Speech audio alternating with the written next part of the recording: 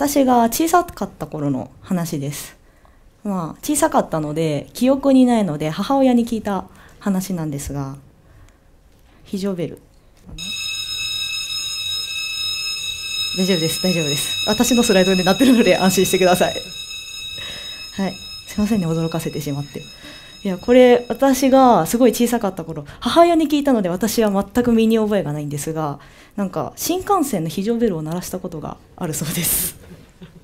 なんか新幹線が昔まだ個室があった当初になんか母親がうろちょろしてる私を見てああ押しそうだな気をつけなきゃなって思ってたらこう目を離した一瞬にもうすでに押してたそうです。そしてこう今のように鳴り響き車掌さんが血相を変えて飛んできて母親は何でもありませんすいませんと。なんかこの間本当に言われたので相当根に持ってたみたいです、はい、じゃあ今はどうかって言いますと今はですねあのファミレスの呼び出しベルあるじゃないですか。あれがすごい押すの好きで友達といつも喧嘩になるんです。なんかそのボタンを押したい友達と喧嘩になることもあるんですけど基本は私が「え押していい？押していい?」って聞いてあのメニューの決まってない友達をせかしたり決まってないうちに店員さん呼んじゃっていつも怒られてます。まあここまで聞くとなんか小さいことと小さい頃とやること変わってねえなとか本当、うん、うん、変わってないというか、うん、子供みたいだなって思われる方いると思います。私も実際そうだと思ってます。私は身長がどれだけ高くなっても体重がどれだけ重くなっても変わらないものっていうのがあると思うんです。それは何か。心だと思うんです。さて皆さんは子供心は持っていますか？子供心。私はまあボタンがあったら押したくなるし積み上がってるものがあったら倒したくなるし張り替えたての障子があったら破りたくなる。そういうのはなんか子供心っていうんじゃないかなと思ってます。皆さんはなんか子供の頃やりたかったこととかありませんか？またそれを今でもやりたいなって思うことありませんか？それはきっとあなたの中にある子供心がささやきかけてるんだと思います。でそうやって小さい頃のことを思い出してみると、まあ、今みたいに結構やらかしたこととかでも褒められて嬉しかったこととかいっぱいあると思います。私はそうやって自分の子供の頃を振り返った時にある口癖があったなって思いました。あなたにはありませんでしたか？口癖とはなんかどうして？とか何？とかなんで？とかことあるごとに発してませんでしたがもうどうして？どうして？なんで？なんで？みたいな感じで。もう最終的にはすっごいでかい声で「なんで!」ですよね。もうそれぐらいうるさくうるさく私は言っていました、まあ、そのそういう疑問ですよね。疑問。小さい頃ってあまりものをよく知らなかったり見るものが全て新鮮だからなんかどんなものに対しても疑問を持つと思うんです。例えば電柱を見て「あれ何?」とか。あとはなんか映画とかドラマ見てて「このあとどうなるの?」とか「犯人誰?」っていうそういうの聞いちゃう？みたいな質問あの質問とか。あとはひょっとして中には「どうして私は生まれてきたの?」みたいな問いもあったんじゃないでしょうか。そういう答えのない問いというのをたまに子供は発してきたりします。私自身も発していました。皆さんこういう問いに答えることができますか？そうこういう答えのない問い。なんか簡単でありそうでも実は簡単じゃない。そういう問いについて子どもたちと一緒に考えるそういう活動に私は今参加しています。それは何かっていうと見えてきましたね。こちらです。こちらちび鉄という活動に参加しています。私は月に一度一番小さい子は3歳ぐらいの子からもうそういう子たち子どもたちが集まってみんなで、えーと、そういう答えのない問いテーマについて考えるそういう活動をしています。まあどんなテーマかっていうと普通って何？とか友達って何？とかそういう問いです。どうでしょう？答えられますか？なんか普通に日常生活で使っている言葉だったりみんなが共通概念として持っていそうな言葉。でもそれって何？って聞かれるとなんか上手に言葉にできない。そもそも答えなんてあるのかなってそんな風に思うと思います。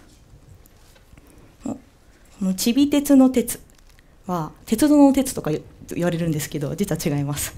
ちび鉄の鉄はですねこちら哲学の鉄です。私はそういう答えのない問いについて考えるその行為そのものを哲学ということを呼んでいます。哲学哲学なんか子供が哲学っていうとなんかすごい不釣り合いな感じがしませんか？私も最初そうでした。でも哲学っていうのは考える行為そのもので例えば皆さんがもしかしたら持ってるかもしれないなんか偉大なこう哲学者の言葉をなぞったり学んだりする。そういうお堅いものではなくもっと楽しいものだと思うんです。これ実際のちび鉄の場面です。この右側にいるのが私で左側にいるのは6歳の女の子なんですけどこれ本当にまさしく哲学してる場面なんですね。女の子の表情どうでしょう？私は哲学っていうのはなんか鬼ごっことかかくれんぼとかそういうのに近い感覚だなと思っています。例えばですねかくれんぼ。答えを探してる時って隠れた友達を探してる感覚にすっごい近いんですよ。どこに隠れてるのかなってあちこち探しても見つからなくてたまに自分の予想もしないところに隠れてたりなんか見つかりそうにないところに隠れてたり。でその答えをやっと見つけたとしてもその答えを言葉答えを言葉にしようとした瞬間また走り出してどっか行ってしまうんですよ。それを追いかけて追いかけて待って待ってそうやってやってる時はなんかすごく鬼ごっこみたいだそう私は哲学って考える遊びだと思うんです。鬼ごっこやかくれんぼと同じです。楽しいものです。これは実際そう地美鉄の場面でそういう哲学をしていた時この時は幸せって何だろうそういう問いについて考えました。そう子どもたちがそういう遊びの中で考えて出てきた言葉ってすごいいいものがあるんです。幸せって何だろ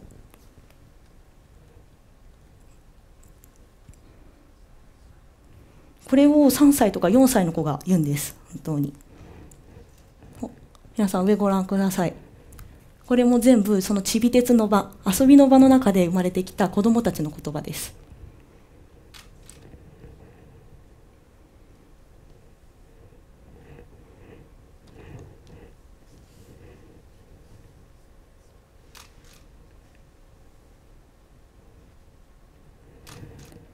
子どもたちの考え方とか見方って先入観とかが本当にないので大人の人たちじゃこう思い至らないような考えがポッて出てくるんですね。でやっぱり子どもたちが一生懸命紡ぎ出した言葉っていうのはこう夜空に光る星みたいにすごいキラキラしているように感じます。で今回テレックス作のテーマは何でしょう？オープン・ザ・ボックスそうですね。で人は誰でも自分の中に箱を持っていると私は思っています。それはもちろん子供も例外でもなく。そして子供の箱にはじゃあ何が入ってるのかなって考えた時にすごいいっぱい疑問が入っているんじゃないかなと思います。いっぱいいっぱいあれなんだろうこれなんだろうって疑問があってその箱から溢れたものが口をついてなんでや何になって出てくる。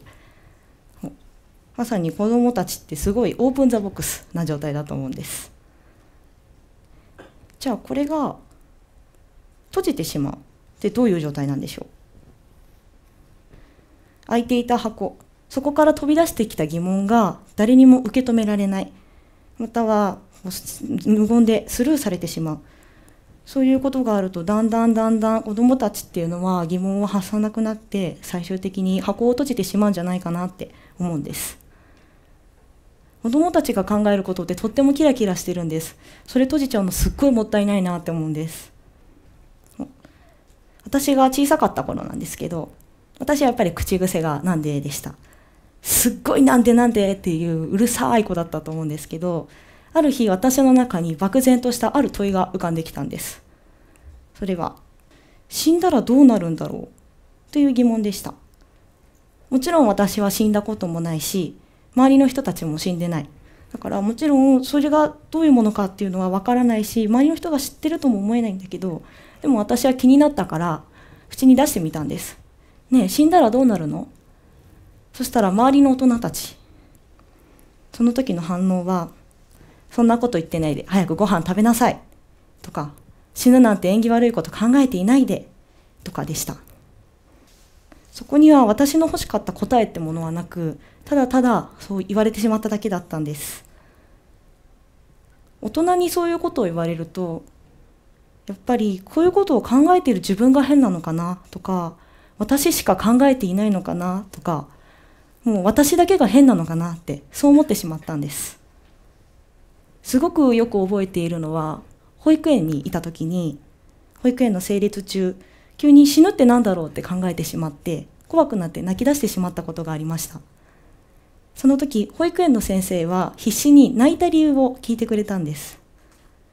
でも私はきっとこんなこと死ぬってことについて考えてて怖くなって泣いたなんてきっと私しか考えていないだろう。そんなことを先生に言ったら先生はどう思うんだろう。そういう不安があって何も言えませんでした。そして今の私はでも逆にこう今このようにこの場に立って話せるように自由に堂々と自分の考えを話すことができます。それは周りに受け止めてくれる人話を聞いてくれる人がいて何より小さい頃そういうこと考えてたんだ私もっていう人に巡り会えたからです。人は自分の考えや話を聞いてもらえなかったりするとたちまち自信がなくなってしまうと思います。それは子供も例外ではなく大人にそういうことを言われてしまったら私だけが変なのかなってそう思ってしまうと思うんです。今の私はどうして自分だけが考えているってあの頃思っていたんだろう。みんな子供だったんだからそういう疑問を持っていたっていいはずだ。現に私の周りにはそういうことを考えてた人がいっぱいいる。なのになんで受け止めてもらえなかったんだろう。そういう疑問があります。小さい頃の私は本当に周りの大人が誰も答えを持っていないことなんて分かりきっていました。知っていました。でもそれでも聞いてみたんです。そうあの時の私が欲しかった答えっていうのは正解がある答えではないんです。そうじゃなくて大人の答えが欲しかったんです。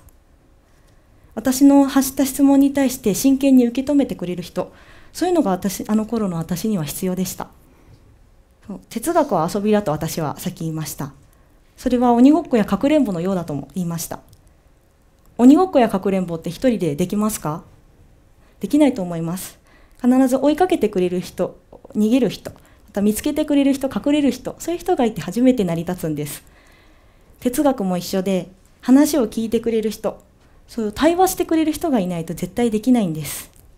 もし今私があの頃の自分に会えるとしたら私は言いたいことがあります。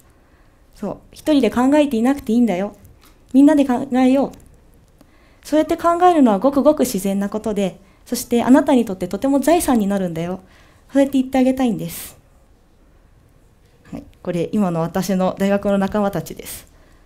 こういう人たちがいてくれたから私は今こういうところに立ってそして何より哲学する。そういう遊ぶことが楽しいと考えることができます。こういう人たちが子供の周りにどうしていないのかなっていつも思ってしまいます。あなたの周りや子供にまたあなたが小さかった頃に発した問いを受け止めてくれる人はいましたか？誰でも一度は子供でした。だから子供の時の気持ちがあなたたちにはわかるはずなんです。だから子供が発している問い、そういうのを真剣に受け止めてみてください。そして、一緒に遊んでみてください。考えることはすごく楽しくて豊かにします、人を。